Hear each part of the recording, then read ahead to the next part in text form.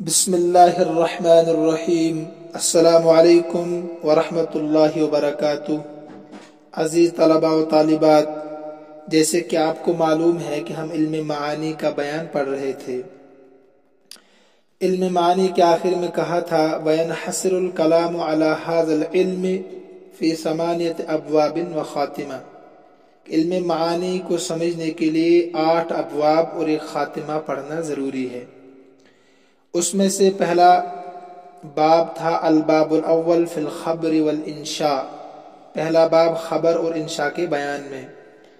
اور دوسرا باب الباب الثانی فی الذکر والحذف۔ دوسرا باب ذکر اور حذف کے بیان میں تھا۔ وہ بھی ہم نے پڑھ لیا تھا مکمل۔ اور اس کے بعد تیسرا باب جو ہے الباب الثالث فی التقدیم والتاخیر۔ تقدیم اور تاخیر کے بیان میں۔ تقدیم و تاخیر۔ یعنی پہلے لانے کو تقدیم کہتے ہیں اور بعد میں لانے کو تاخیر کہتے ہیں۔ آپ پہلے یوں سمجھیے، تمام انسان من حیث الانسان، تمام انسان بحثت انسان برابر ہے۔ تمام انسان بحثت انسان برابر ہے۔ اب مقدم کون ہوگا؟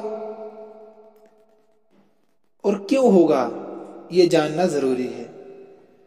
اسی طریقے سے تمام الفاظ بحثت الفاظ برابر ہے۔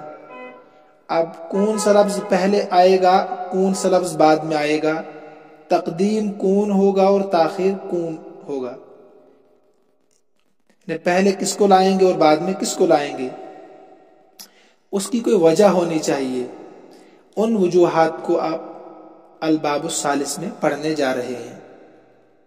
مثلا میں نے جیسے کہا کہ انسان بحث انسان سب برابر ہے، لیکن قرآن کہتا ان اکرمکم عند اللہ اتقاکم تم میں سب سے زیادہ معزز، قابل احترام وہ ہے کہ جو تم میں زیادہ تقوی والا ہو، اللہ سے ڈرنے والا ہو، گویا کہ مقدم ہو گیا۔ اور جو اللہ سے نہیں ڈرتا وہ مؤخر ہو گیا اسی طریقے سے آپ سمجھ سکتے ہیں کہ تمام الفاظ من حیث الفاظ برابر ہے۔ کسی کو کسی پر تقدیم حاصل نہیں ہے۔ اب کچھ وجہ ہیں کہ جن کی وجہ سے کسی کلمے کو پہلے لایا جاتا ہے، کسی کلمے کو بعد میں لایا جاتا ہے۔ وہی اسباب آپ پڑھنے جا رہے ہیں۔ تقدیم کے نو اسباب ہے کل۔ تقدیم کے نو اسباب ہیں۔ پہلے آپ اوپر جو تمہید بیان کی ہے، اس کا ترجمہ ہم پڑھیں گے، اس کے بعد جو تقدیم کے نو اسباب ہیں، ان کو ہم پڑھیں گے۔ الباب الثالث فی التقدیم و تاخیر تیسرا باب تقدیم و تاخیر کے بیان میں۔ صفحہ نمبر فائیو فور پر یعنی صفحہ نمبر چون پر ہے۔ من المعلوم یہ بات معلوم ہے۔ یہ بات معلوم ہے انه لا يمكن النطق باجزاء الكلام دفعه واحده کہ کلام کے اجزاء کے ساتھ ایک ہی دفعہ بولنا ممکن نہیں۔ ولا بد من تقدیم بعض الاجزاء ضروری ہے، ولا بدہ ضروری ہے بعض اجزاء کا مقدم ہونا۔ من تقدیم بعض الاجزاء، بعض اجزاء کا مقدم ہونا۔ و تاخیر الباز اور بعض کا مؤخر ہونا۔ ولیس شیء منها فی نفسه اور نہیں ہے ان اجزاء میں سے کوئی جز ایسا۔ ولیس شیء منها فی نفسه اور نہیں ہے ان اجزاء میں سے کوئی جز ایسا کہ جو فی نفس ہی دوسرے جز پر مقدم ہونے کا زیادہ حق رکھتا ہو اولا زیادہ حق رکھتا ہو، بالتقدیم من الاخر دوسرے جز پر مقدم ہونے کا۔ پھر ترجمہ دیکھیے، اور نہیں ہے ان اجزاء میں سے کوئی جز ایسا کہ جو فی نفسی ہی دوسرے جز پر مقدم ہونے کا زیادہ حق رکھتا ہو اولا زیادہ حق رکھتا ہو بالتقدیم، مقدم ہونے کا من الآخر دوسرے پر۔ فی نفسی ہی کسی میں یہ حق نہیں ہے، سب برابر ہے۔ لاشتراک جمیع الفاظ الفاظ ہونے کی حیثیت سے۔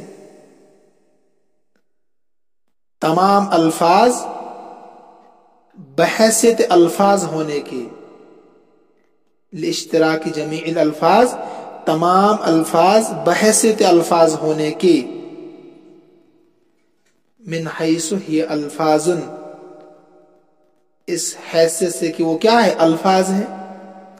فی درجت الاعتبار، اعتبار کے درجے میں مشترک ہے۔ ان سارے کا ترجمہ لاشتراک جمیع الالفاظ، من حیث ہی الفاظ، فی درجت الاعتبار۔ فی درجت الاعتبار. کیونکہ تمام الفاظ بحیثیت الفاظ ہونے کے اعتبار کے درجے میں مشترک ہے. فلا بد من تقدیم حاضہ پس ضروری ہے کسی سبب کا ہونا، فلا بد من تقدیم حاضہ الازا کا تو پس ضروری ہے کسی سبب کا ہونا جو اس جز کو، جو اس جز کی تقدیم کو اس جز پر ثابت کرے۔ اس جز کی تقدیم کو اس جز پر۔ تقدیم حاضہ اس جز کی تقدیم کو کیا کرے؟ ترجیح دے اعلی کا اس جز پر۔ مندائن یوجبہ مندائن یوجبہ ایسا سبب ہونا چاہیے جو اس کو کیا کرے؟ ثابت کرے۔ یہ ترجمہ ہو گیا۔ آپ کو میں نے بتا دیا آسان لفظوں میں کہ تمام الفاظ بحثیت الفاظ برابر ہے کسی کو کسی پر فوقیت نہیں ہے۔ اب یہ کہہ رہے ہیں کوئی ایسا سبب ہونا چاہیے کہ جس کی سبب آپ ایک کلمے کو دوسرے کلمے پر کیا کر رہے ہیں؟ مقدم کر رہے ہیں یعنی کسی کو مقدم، کسی کو مؤخر، تو اب مقدم کرنے کے نو سبب ہے نو مقام ایسے ہیں کہ وہاں پر آپ کلمے کو پہلے ہی لانا چاہیے۔ کتنے ہیں؟ نو مقام ایسے ہیں کہ وہاں پر کلمہ پہلے ہی لانے کا تقاضا کر رہا ہوگا۔ دیکھیے،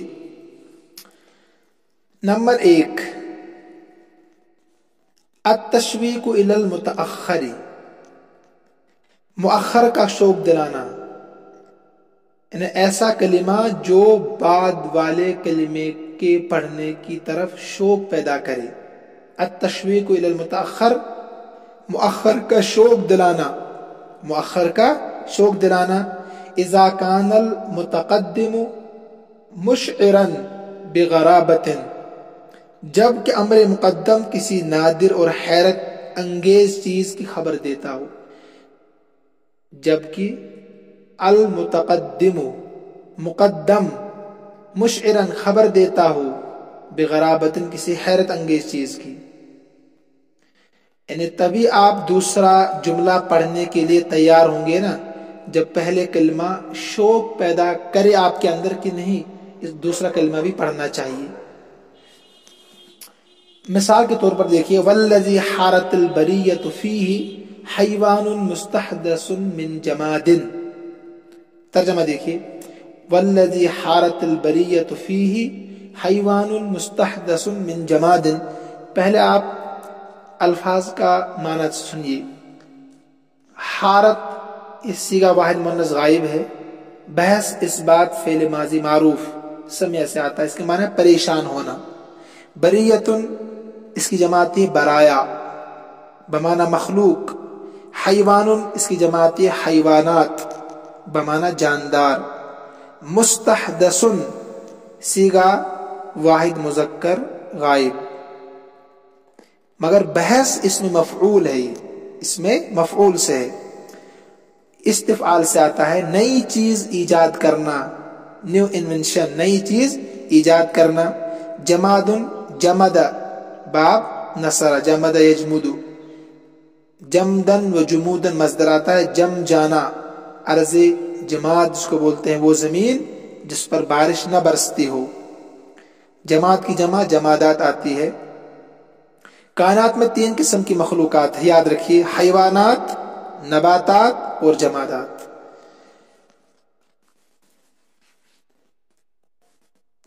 اس کا ترجمہ کیا ہے؟ وہ چیز جس کے بارے میں مخلوق حیران ہے۔ والذی، وہ چیز، حارت البریت فی پریشان ہے، حارت، پریشان البریت مخلوق فی اس کے بارے میں۔ حیوان وہ ایک جاندار ہے۔ مستحدث من جمادن، جو ایک بے جان سے پیدا ہوا ہے۔ مستحدث جو پیدا ہوا من جمادن ایک بے جان چیز سے۔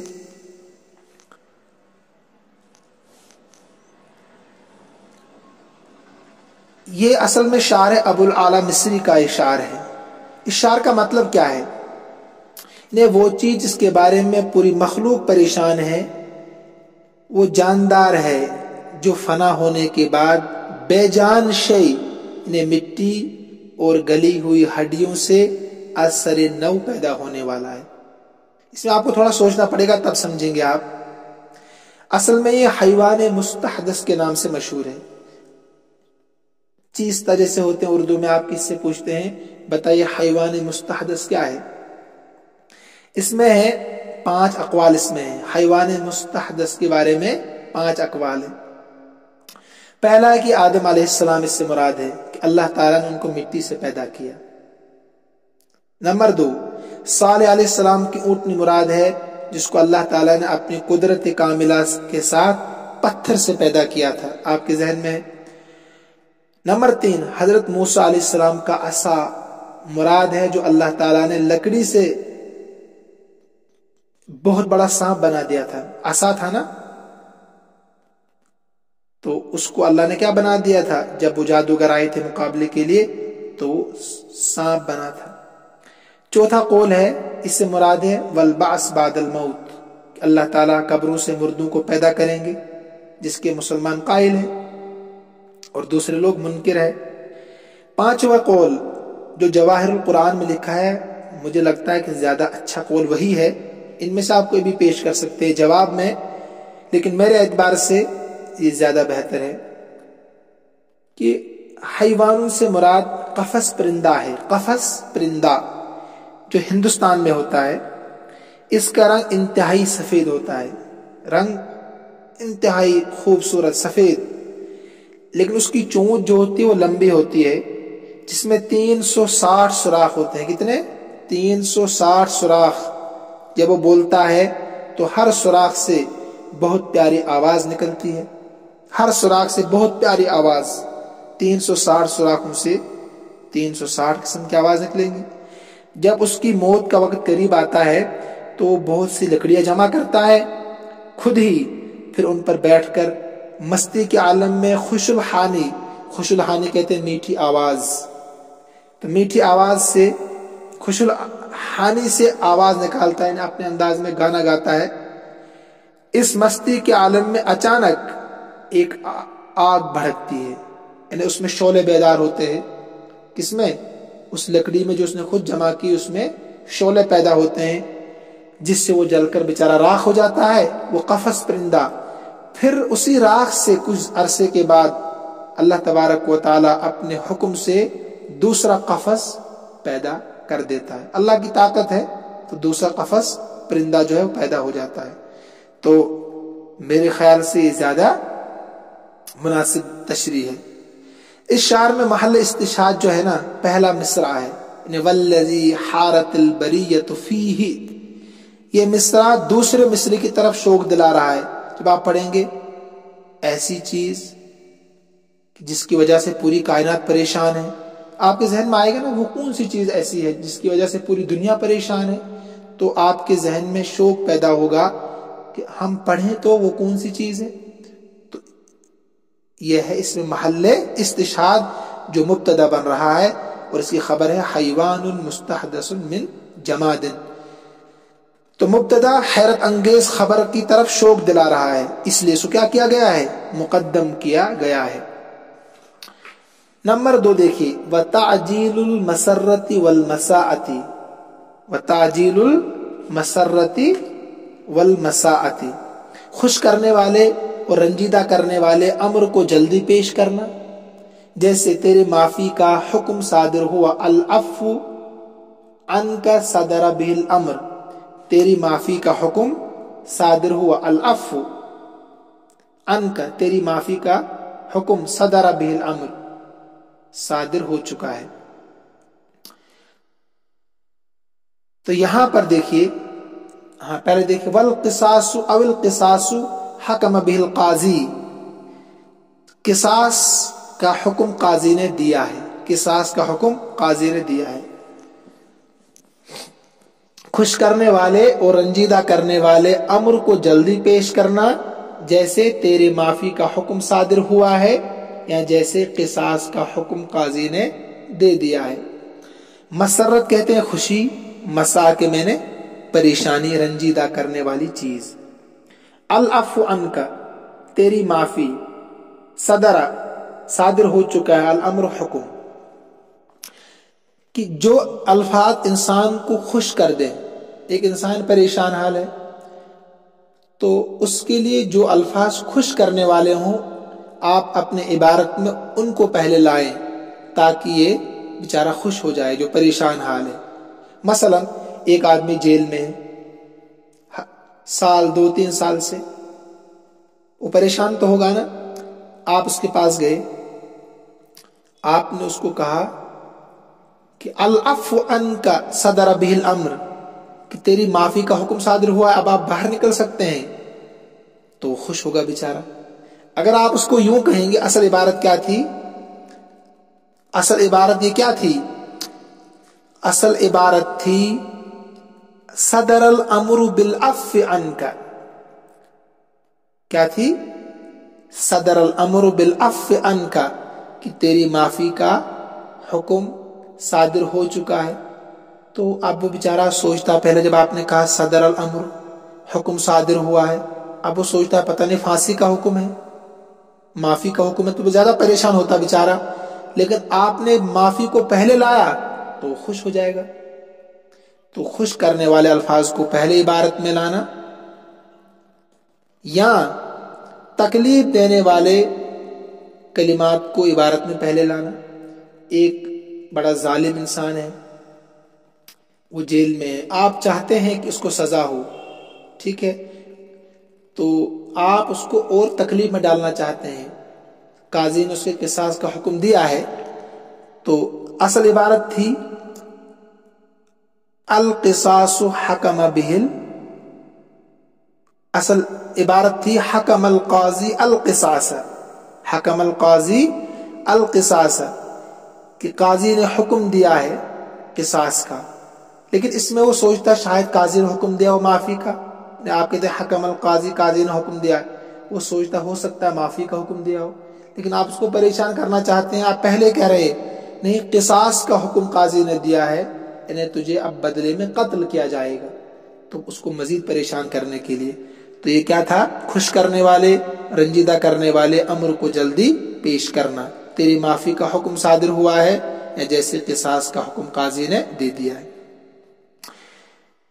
نمبر تین شی مقدم کا انکار اور تعجب کے موقع پر ہونا۔ کون المتقدم محت الانکاری و تعجب کون المتقدم محت الانکاری و تعجب شی مقدم کا انکار اور تعجب کے موقع پر ہونا مثلا نحو ابعد طول التجربتی تنخدع بهذه الزخارف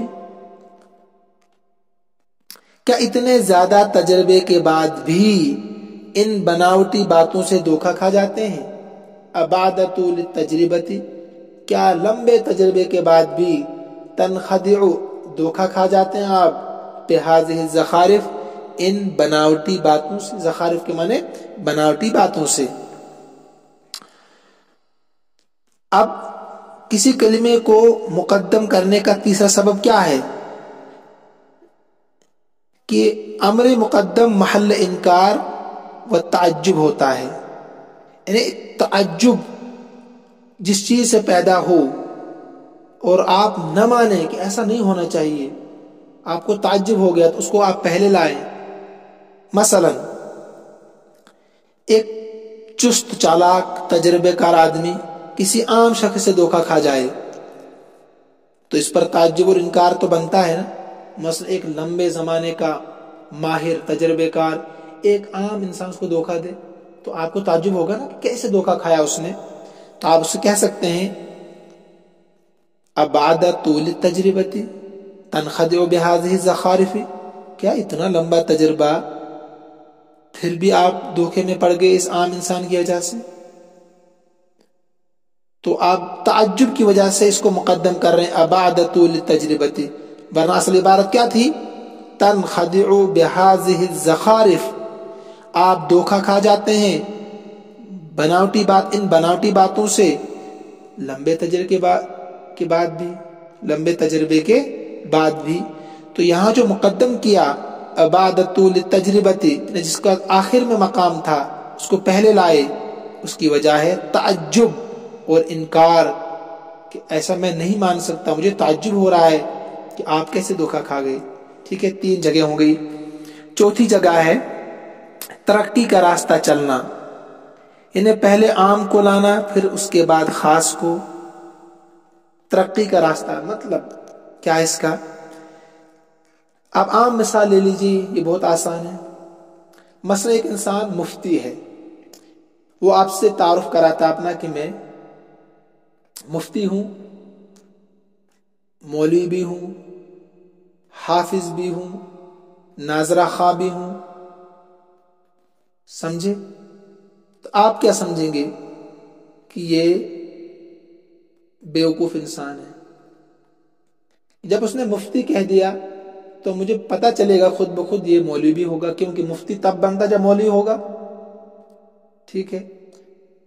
جب اس نے کہا میں حافظ ہوں، تو مجھے پتا ہے کہ حافظ تب بنتا جب قرآن ناظرہ پڑھنے جانتا ہو، ناظرہ خواہ ہوں تو یہ غلط طریقہ ہے۔ اس کو کہنا تھا، اگر کہنا تھا کہ میں ناظرہ خواہ بھی ہوں، پھر میں نے حافظ قرآن بھی کیا ہے، حافظ قرآن بھی ہوں، پھر مولوی بھی ہوں، پھر مفتی بھی ہوں، پھر قاضی بھی ہوں۔ لیکن اگر وہ ترتیب بدل دے، قاضی بھی ہوں، مفتی بھی ہوں، مولوی بھی ہوں، حافظ بھی ہوں اور ناظرہ خواہ بھی ہوں، تو ترتیب غلط ہے۔ کہتے ہیں، ترقی کا راستہ چلنا انہیں پہلے ناظرہ خواہ، پھر حافظ قرآن، پھر مولوی، پھر مفتی، پھر قاضی، یہ ترتیب ٹھیک ہے۔ آپ سمجھ گئے ہوں گے۔ اب یہاں دیکھیے جو مثال ہے، ترقی کا راستہ چلنا۔ سلوک سبیل ترقی، سبیل کے من راستہ، سلوک کے من چلنا۔ ترقی کے راستے پر چلنا۔ آئی الاتیان بالعام اولا ثم الخاص۔ یعنی پہلے عام کو لانا، ثم الخاص، پھر خاص کو لانا، بعد اس کے بعد۔ لأن العام اذا ذکر بعد الخاص، اس لیے کہ عام، جب ذکر کیا جائے گا اس کو خاص کے بعد لا يكون له فائدہ اس کا کوئی فائدہ نہیں ہوگا۔ نحو حاضل کلام صحیح فصیح بلیغ۔ یہ کلام صحیح بھی ہے، فصیح بھی ہے اور بلیغ بھی ہے۔ فیضا قلت فصیح بلیغ پس اگر تم کہے گا فصیح بھی ہے اور بلیغ بھی ہے، لا تحتاج الى ذکر صحیح۔ ضرورت نہیں پڑے گی تجھے صحیح کو ذکر کرنے کی۔ صحیح کو ذکر کرنے کی۔ بیزا قلت بلیغ، جب تو نے بلیغ کہہ دیا، لا تحتاج الى ذکر صحیح تجھے ضرورت نہیں پڑے گی لفظ صحیح کو ذکر کرنے کی، اور نہ فصیح کو ذکر کرنے کی۔ یعنی انہیں حاضل کلام صحیح، فصیح، بلیغ۔ یہ ترتیب بالکل ٹھیک ہے۔ یہ ترتیب بالکل ٹھیک ہے۔ حاضل کلام صحیح، فصیح، بلیغ۔ انہیں پہلے کلام صحیح ہوتا ہے، اس کے بعد فصیح بنتا ہے، اس کے بعد بلیغ بنتا ہے۔ سمجھے آپ؟ لیکن یہ کلام صحیح نہیں، آپ کہیں گے حاضل کلام فصیح، بلیغ صحیح یہ ترتیب غلط ہو گئی نا۔ پہلے کلام صحیح ہوگا، تب جا کر فصیح بنے گا تب جا کر بلیغ بنے گا جو آپ نے شروع میں پڑھا ہے۔ تو اگر آپ فصیح کہیں، پھر بلیغ کہیں، پھر صحیح کہیں اس سے کوئی فائدہ حاصل نہیں ہوگا۔ کیونکہ جب فصیح بلیغ کہہ دیا، تو پھر صحیح ان کے ذکر کی بالکل ضرورت نہیں ہوتی۔ اس لیے کہ کلام اس وقت تک فصیح ہو ہی نہیں سکتا جب تک کہ وہ صحیح نہ ہو۔ اور یہ کلام بھی صحیح نہیں ہے۔ مثلا آپ کہیں حاضل کلام بلیگن فصیح صحیح یہ وہی ہو گیا جیسے قاضی، مفتی، مولوی جب بلیغ ہو گیا تو بلیغ میں صحیح بھی آ گیا، بلیغ میں فصیح بھی آ گیا، تو آپ فصیح صحیح کہنے کی ضرورت ہی نہیں ہونی چاہیے۔ تو مجھے امید ہے کہ آپ یہ سمجھ گئے ہوں گے۔ اس کے بعد ہے نمبر پانچ۔ مراعت ترتیب الوجودی، ترتیب وجودی کا خیال رکھنا۔ ترتیب وجودی کا خیال رکھنا۔ وجودی کا مطلب ہے، انہیں حقیقت میں جو صورت حال ہے۔ ترتیب وجودی کا لحاظ رکھنا جیسے لا تأخذه سنتم ولا نوم، نہیں پکڑتی اس کو اونگ اور نہ نیند سنتن اونگ کو کہتے ہیں اور نوم نیند کو کہتے ہیں۔ جب انسان کو نیند آتی ہے نا، تو ایک دم وہ سوتا نہیں، پہلے اونگ آتی ہے۔ بیٹھے بیٹھے گر جاتا ہے بیچارہ، دائیں بائیں ہو جاتا ہے، سو بولتے ہیں اونگ۔ اس کے بعد وہ پھر جب آرام سے سو جاتا ہے بسترے میں اس کو کہتے ہیں نیند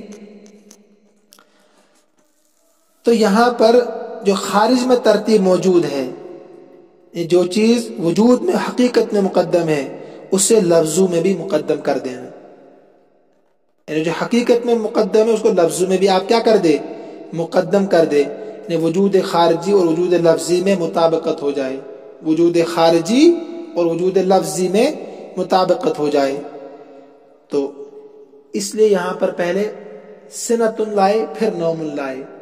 ورنہ سنتن اور نومن من حیث الفاظ برابر ہے، کوئی فرق نہیں ہے۔ لیکن وجود خارجی اور وجود لفظی میں مطابقت کرنے کے لیے پہلے سنت لائے اور پھر نوم لائے کہ پہلے اونگ آتی اس کے بعد نیند آتی ہے۔ اس لیے سنت کا مقام مقدم ہے اور نومن کا مقام مؤخر ہے۔ تو یہ پانچ جگہ ہو گئی، کل نو جگہ تھی، چار جگہ رہ گئی۔ ہم آپ پیچھے چلتے ہیں۔ اصل میں کل جو ہے، وہ میں نے پڑھایا تو سارا تھا، لیکن وہ نمبر سات تک ہی ریکارڈ ہوا تھا۔ یعنی ذکر اور حذف کے اسباب جو ہم پڑھ رہے تھے نا، کہ حذف نہیں کرنا چاہیے تھا، مگر آپ حذف کر رہے ہیں۔ کیوں کر رہے ہیں حذف؟ تو وہاں پر نمبر آٹھ، دیکھیے، اختصار کا لحاظ کر کے کسی چیز کو عام کرنا، اختصار کے ساتھ۔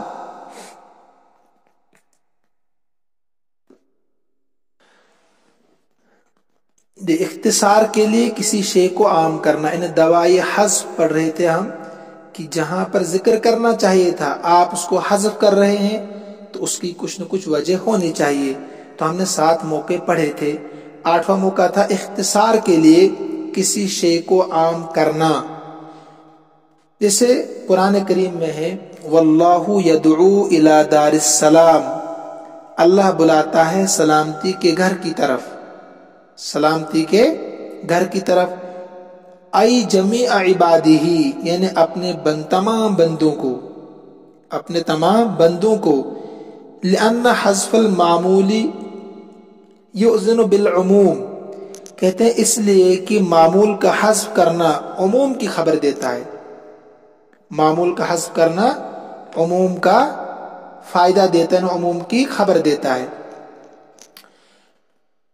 اب یاد، قاعدہ یاد رکھیے آپ کہ مفعول کا حذف کرنا بلا کرینہ بلا کرینہ تعین مفعول کا حذف کردہ، یہ عمومیت کا فائدہ دیتا ہے۔ کس کا؟ عمومیت کا فائدہ دیتا۔ اصل عبارت تھی، واللہ یدعو الى دار السلام جميع عبادہ کہ اللہ تبارک و تعالی بلاتا ہے سلامتی کے گھر کی طرف اپنے تمام بندوں کو۔ تو جميع عبادہ یدعو کا مفعول بھی ہے۔ اگر مفعول بھی کو حذف کیا جائے بلا قرینہ تعین تو اس سے عمومیت کا فائدہ ہوتا ہے۔ تمام کے تمام لوگوں کو بلاتا ہے۔ انہیں مزید عمومیت کا یہ فائدہ دیتا ہے۔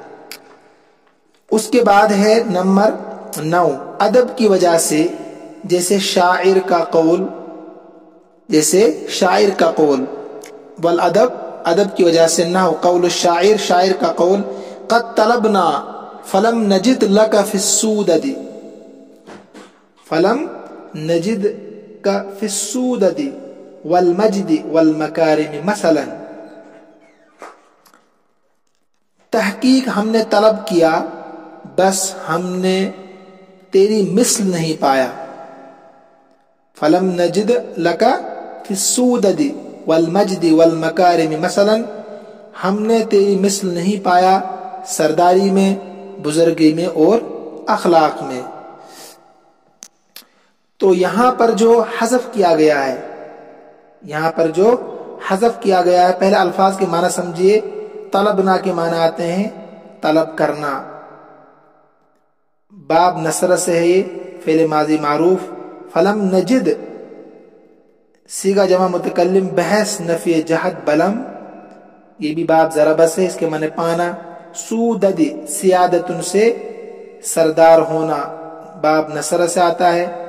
المجد، باب نصر سے بمانا بزرگ ہونا۔ مکارم، جمع ہے مکرومتن کی بمانا اچھا وصف، شریفانہ کارنامہ۔ شعر کا مطلب ہے کہ تحقیق ہم نے تلاش کیا تو سرداری، بزرگی، حسن اخلاق میں تیرے جیسا کوئی نہیں پایا، تیرے جیسا کوئی نہیں پایا۔ اس شعر میں محل استشاد جو ہے نا، جس سے بحث ہے، قد طلب نہ ہے۔ قد طلب نہ ہے، اس کا مفعول جو ہے، ادب کی وجہ سے حذف کیا گیا ہے۔ اصل عبارت تھی، طلب نہ مسل کا طلب نہ مسل کا یہاں مسل کا مفعول بھی کو بوجہ ادب حذف کر دیا گیا ہے۔ ادب کی رعایت میں، کیونکہ اپنے محبوب کے سامنے انہیں جس سے محبت ہو یا آقا جو بڑا ہوتا ہے سراحتن اس کی مثل تلاش کرنا یہ ادب کے خلاف ہے۔ یعنی آپ جیسا مجھے نہیں ملا، تو یہ آپ جیسا کہنا یہ اس کے ادب کے خلاف ہے۔ گویا کہ اس کا مماثل ہو ہی نہیں سکتا۔ اس کا مماثل ہو ہی نہیں سکتا، تو مثل کا مفعول بھی کو بوجہ ادب حذف کر دیا گیا ہے۔ نمبر دس۔ نمبر دس کیا ہے؟ وہ تنزیل المتعدی منزلت اللازم لعدم تعلق الغرض بالمعمول۔ فعل متعدی کو معمول کے ساتھ کوئی غرض متعلق نہ ہونے کی وجہ سے